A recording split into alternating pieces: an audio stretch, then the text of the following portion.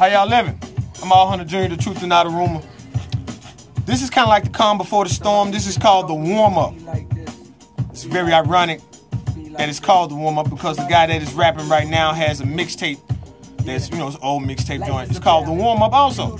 Well, I'm taking something from the song that he is performing right now. It's called False Prophets. On today's show, we're going to examine some people that we might think are false prophets. Are, are, are they are they claiming that they're for the culture and they're not really for it? Now, I'm not going to make that assumption and tell you guys that they are not for the culture. I'm just going to like we're just going to look at a couple of sides.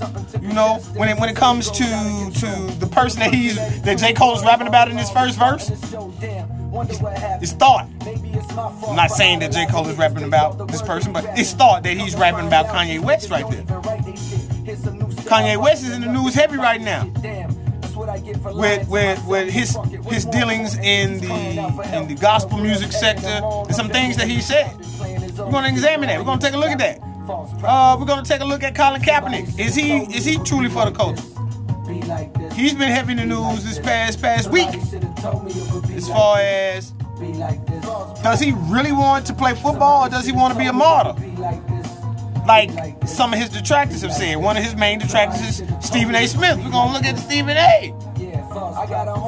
You know, we, we just gonna you know we just gonna rap a tag and, and, and see uh, some of these cats. We're gonna we're con- gonna compare what they say. Are they on the up and up? Are they on the down low? Not really forced.